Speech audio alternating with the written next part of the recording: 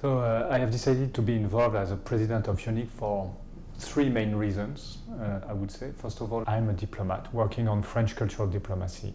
So it is obvious that I have to work and my ministry has to work on a European level.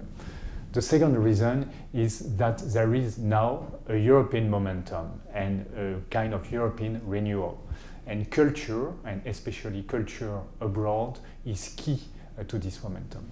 And the third reason is that culture is a key to European policy, not only politically, but also for economic reasons. Uh, we all know that creative industries contribute hugely to the European growth. Through culture, EUNIC helps building a dialogue between Europe and civil societies abroad. When I was the director of the French German Cultural Institute in Ramallah, I realized uh, to what extent Europe was key abroad. This institute was not a French one, was not a German one for the Palestinians, but it was a European one.